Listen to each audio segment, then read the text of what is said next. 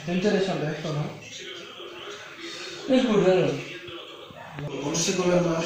No, y eso a mí no me apetece más. Vamos a recoger esto un poco. Venga, va.